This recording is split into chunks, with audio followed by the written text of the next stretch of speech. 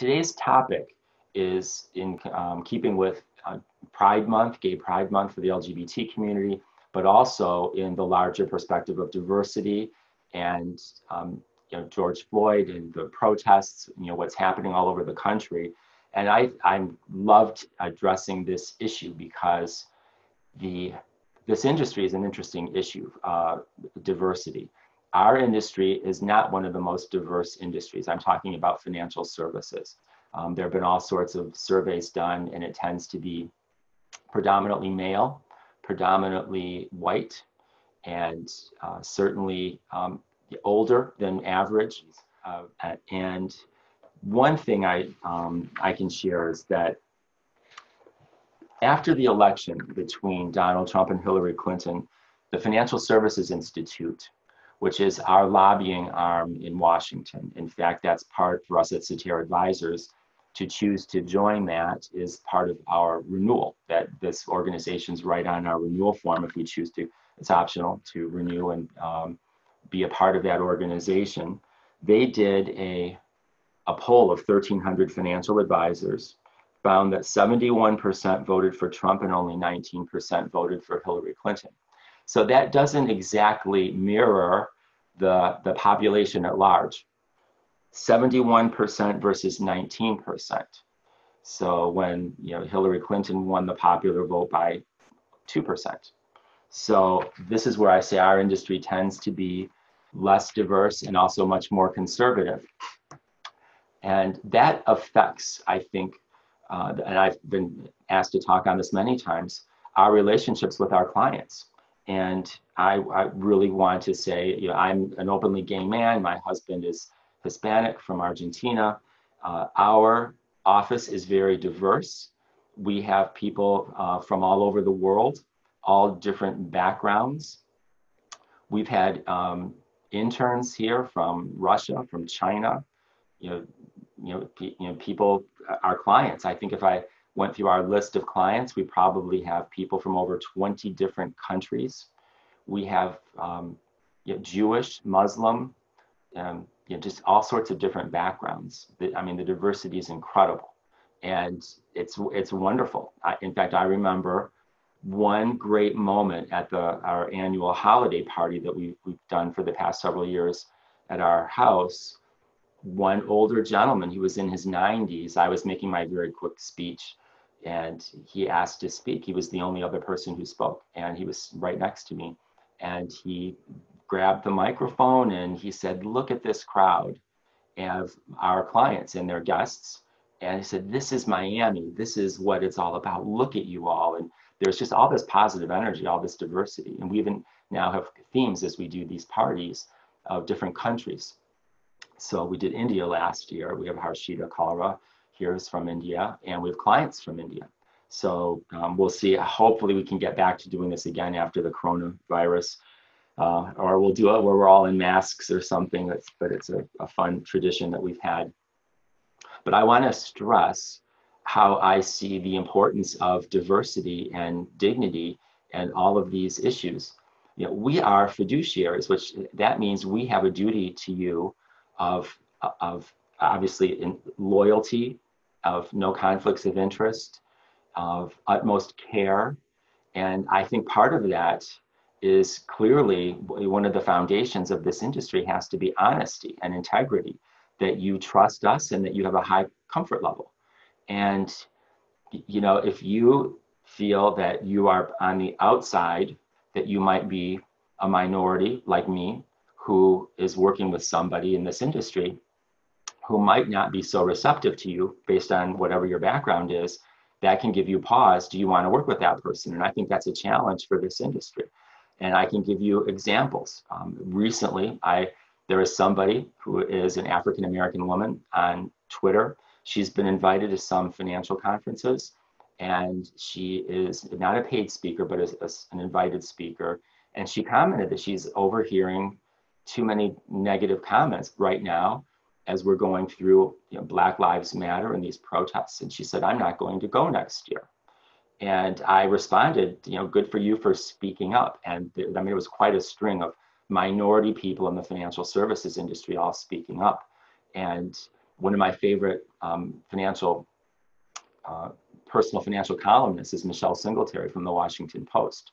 And she also, she's an African American woman, and she's also made comments in her columns along these lines. And we had a nice interchange, uh, email exchange on um, another issue on um, solo agers, and she actually published one of my comments in her column about that. So it's it is an issue, and I I think it goes to morality as well.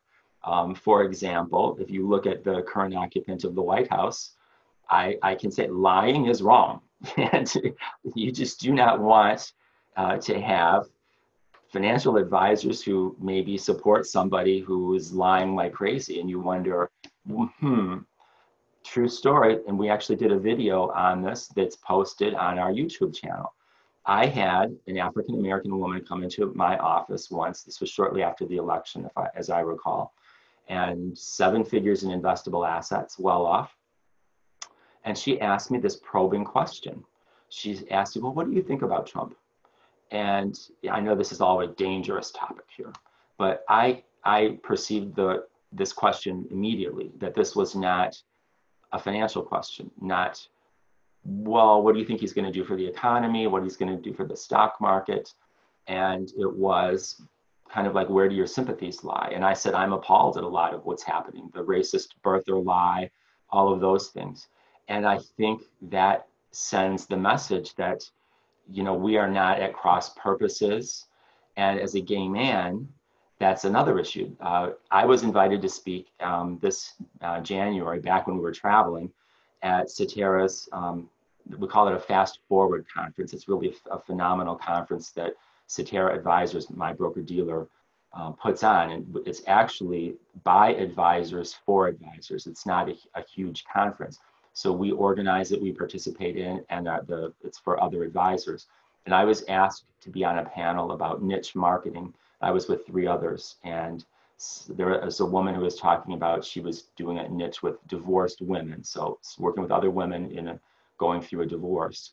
And there was um, two gentlemen who were in Chicago working with union members, and these are often um, very totally in, in the trades, blue collar plumbers, carpenters, and specializing in that market. And then I was asked to speak about the LGBT market. So I um, was you know, honored to do that. I've done it before. I actually spoke at the Financial Planning Association's national conference once on a little sub conference that they had called Pride Planners for the LGBT community and talked about LGBT financial planning. So part of my thinking about attending that and being on that panel was the issue of I know other advisors are saying, you know, oh, you know, I'd like to work with the LGBT community. What do I need to do? And so I'm trying to provide some insight. One of the things is if you are not part of a, any kind of a minority group, it can be hard to put yourself in somebody else's shoes. And it's often easy to think, and we see it right now, like, oh, this is exaggerated. People are complaining. They're they're you know quick to you know, do a, play the race card or something like that. I said at that conference, you know, to all these people, you know, don't, you know, you know, mimic or don't put down, a, you know, a pain you haven't endured if you've never, you know, lived through it. And I told one story. This was back 10 years ago. So it's, we're not talking ancient history, but yeah, I've been with Luis, my now legal husband, for this year's our um, our 35th anniversary. Man, I'm getting old.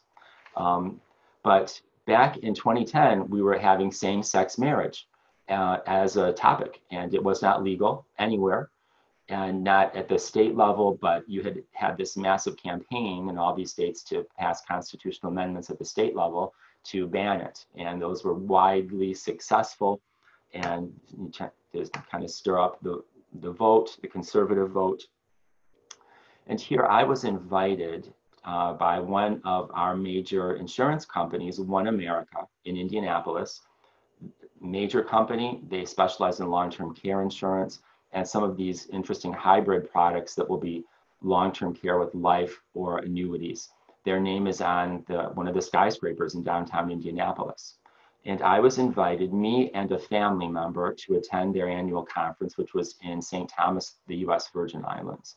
So it's flatters like, and th- that conference is actually, yes, there's the fun and the entertainment, but they actually are some of it's really heavy duty financial planning sessions to learn about some of those those products and the best situations to use them. They even had a patent on one of them.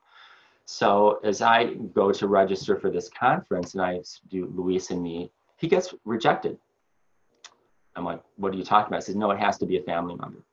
And I'm like, well, we're a same sex couple and we are actually scheduled to get married. We met in Washington, D.C. And we, Washington, D.C. was one of the first places to pass same sex marriage, even though it had no federal recognition, no validity to us living in Miami. And, but we planned to go to Washington, D.C. to get married, which we did. We flew to Washington, got the um, permit, um, three day waiting period, and um, we, we did actually get married. Well, I am lied to by this company. Just, I'm in incredible lies that, oh, we can't have same sex people because we have all these tax issues and we have all these different companies and we have to have standard policies and the states have different you know laws. And i'm like well okay i can i'll take this on. I will fight for this so that you get you know, i took american airlines policies about domestic partner benefits and i said i will take this on and show you how you can change your rules sample policies we can discuss it at the conference so I was really taken aback, but this is how naive I was that this was sincere, that they said, we just can't have same sex couples at these events. And so I said, well, my husband's a flight attendant. So if you're not going to book him, I will uh, use our passes. So we did not use their travel company at One America to go to the conference. We went together using his passes and then he stayed in the hotel room that they provided me as my guest. And so we went there together, but I was told he cannot attend any events, any functions, and there were some excursions and things. So I'm like, well, okay. The first night was a gala dinner, and we were there outside that everybody's getting in, waiting to get seated, and they're all just walking past us. And I know I created a stir because they knew he was there. And I was kind of expecting, you know, okay, well, guys, since since you're here, come on in. We were totally rejected. It was like you do not attend this. You this was not sit in the back of the bus. This was you do not even get on the bus. And so we went to a restaurant there, right next to their gala dinner. We could see them, and we had our own dinner. And the next day, I went to it. That this was the full day of programming of uh, all the financial planning material. I go up to the person I was working with and I said, you know, I brought all of these sample policies, domestic partner benefits, so you can change your policy. Well, then he explodes on me. He says, this is our policy and we're not going to change it. And if you insist on pursuing this, you're not going to be happy. And my mouth fell open. And I realized then this was discrimination, but it took all of that. This is how naive I was. That it's, it turns out the head of the company at the time was on the national board of uh, a fundamentalist Christian organization, and this was company policy. And I, they read it to me over the phone, no same-sex couples. But I said, well, can you give it to me in writing too? They refused to do that. So I went and I do my fighting. As you, many of you know, it's in my blood, and I fight for my clients. I don't care if it's fighting banks, insurance companies, whatever I have to do. I am a fighter. So I went ahead and I wrote a letter to all of the the, the leadership of that company, we had the contact information of all of the attendees. My assistant at the time, Marcella Sid, God bless you, Marcella, got all of this information and we just blasted it out. This happened to us. We were lied to. And I, I have this as a badge of honor. And then when I, I left the conference at that point, I said, okay, we're done, we're leaving. And the, we ended this that we will discuss this after the conference. We'll have a phone call. And of course, then after the conference, I'm calling the company and they don't take my call. And said, like, okay, but that doesn't stop me. So I keep calling. So finally, they set up a, a meeting with one of their attorneys and somebody else I had been working with. And I have this letter, June 23rd, 2010. You lied to me in my face and you continue to run from me and delegated your dirty work to people below you. I was told months ago by Chris, I'll leave out his last name, that my same sex spouse of 25 years back then, to, uh, to whom I am now legally married, is not considered a family member and could not attend this, this producer conference. I was told it had to do with tax reasons, maintaining a common policy across companies, dealing with field marketing organizations, which are basically like insurance brokerages, and they couldn't keep track of state law changes. This was all nonsense, but I naively believed it. Uh, well, I, I, I get on fire. And I said, this company's behavior toward me has been dishonest and unethical from the beginning up to now. I'm deeply disturbed by the lies for which there's no excuse, especially from a financial services company entrusted with clients' money. My conversation with Chris and the attorney was damning. There was so much silence on their part. They were like deer caught in headlights. They couldn't say anything to defend themselves or the company.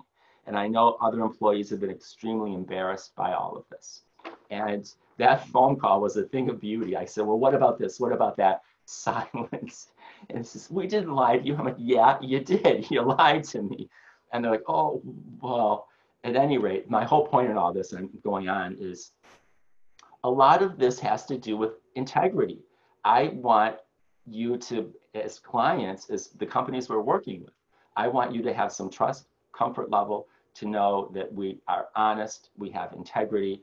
And I, I have so many more stories along those lines to share about the importance of diversity, that you're going to be respected.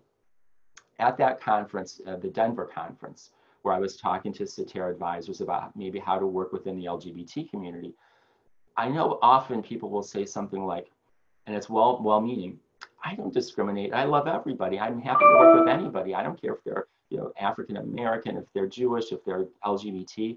Like, it's not enough. It's not enough just to say I treat everybody the same. There are these issues. There are people who have been mistreated. There are financial planning issues for the lack of same-sex marriage rights, like people who had to take a pension as a single payout instead of a joint payout. How do you plan for a surviving spouse? I've had to deal with that several times.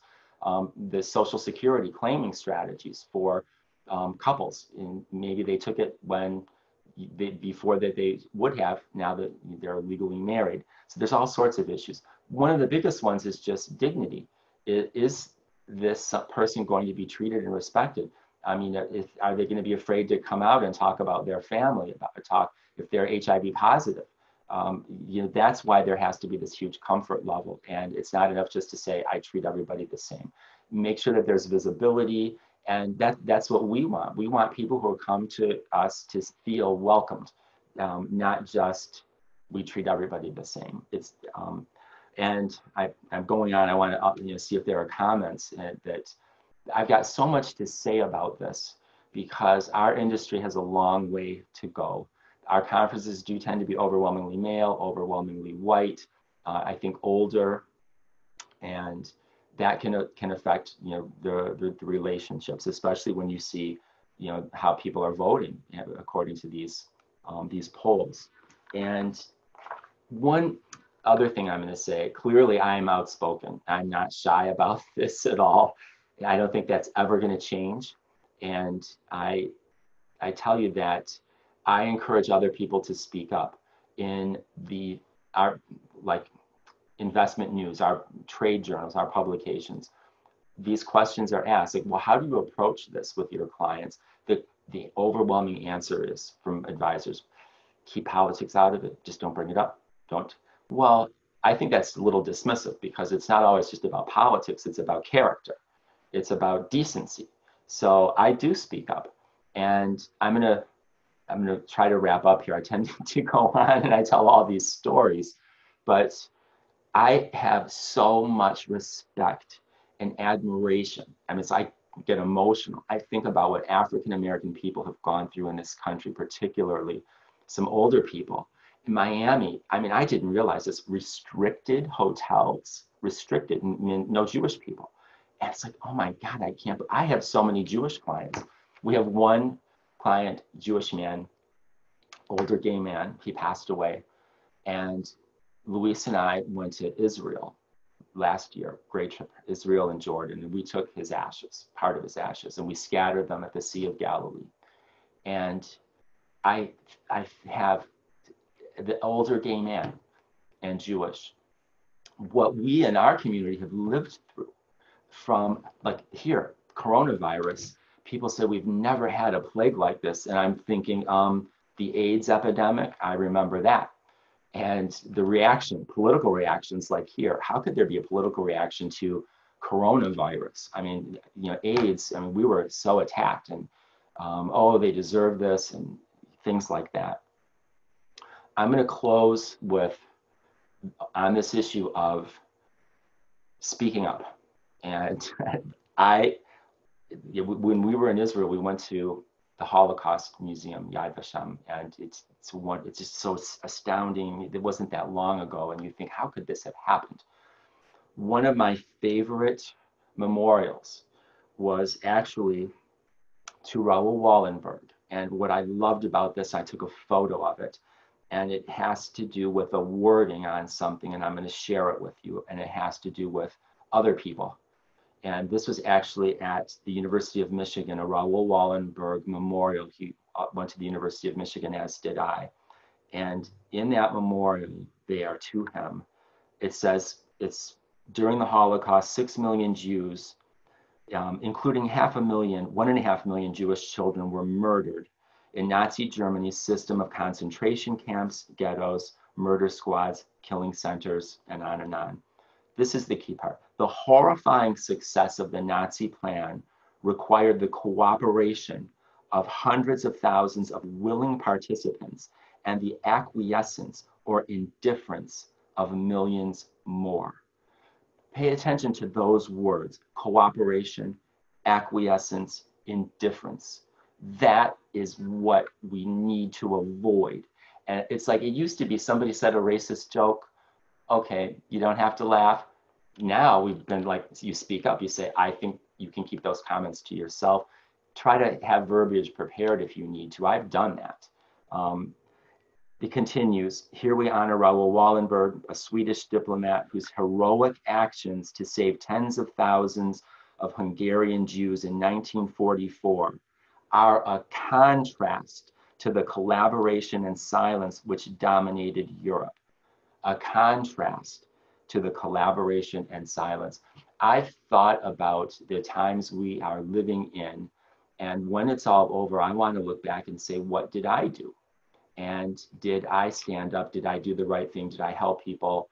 And I, right now, I can look back and say, I have a clean conscience, and I will continue to do that. I want to go to my grave with a clean conscience on how I've treated people, how I've worked with people, how I've helped people, all the things we're doing. This is why I feel like I'm in my right livelihood in financial services because, gosh, we want to help people. Not that everything always goes perfectly, but we're going to fight for people. And